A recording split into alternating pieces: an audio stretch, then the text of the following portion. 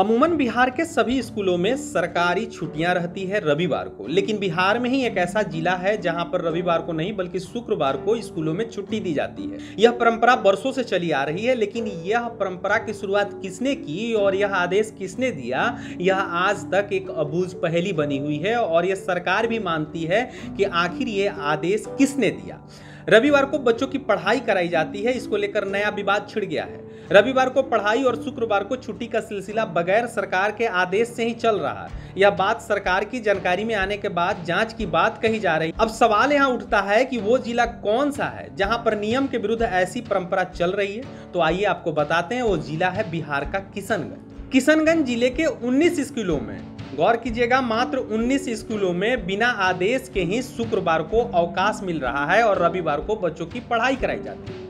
अधिकारियों का कहना है कि अल्पसंख्यक छात्रों की संख्या अधिक होने के कारण स्कूलों में शुक्रवार को नमाज़ पढ़ने की छुट्टी दे दी जाती है। मीडिया रिपोर्ट के अनुसार शिक्षा मंत्री विजय कुमार चौधरी का कहना है कि जिला शिक्षा पदाधिकारी से ऐसे स्कूलों की जानकारी ली जाएगी। बता दें कि झारखंड की तरफ़ बिहार में भी शुक्रवार को मजहबी कारणों से बंद रहते हैं कई स्कूल। किशनगंज के 19 स्कूलों में बिना किसी आदेश के रविवार को पढ़ाई हो रही है।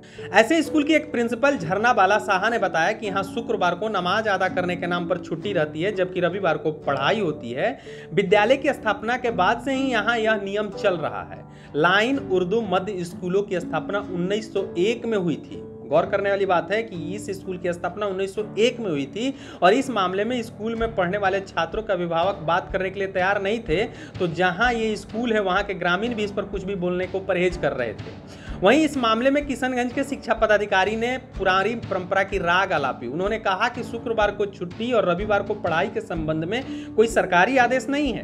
उन्होंने कहा कि शुक्रवार को सुचारू रूप से संचालित करने के लिए विभाग के बड़े अधिकारियों से बात की जाएगी। इस पर शिक्षा विभाग का मानना है कि मुस्लिम बहुल इलाका होने और स्कूलों में अल्पसंख्यक छात्रों की संख्या ज़्यादा होने की वजह से शुरू से यह परंपरा चली आ रही है तो यह परंपरा आज भी बरकरार है। किशनगंज की ये सभी 19 स्कूल, उर्दू स्कूल या मदरसा नहीं, बल्कि समान स्कूल भी इसमें शामिल है।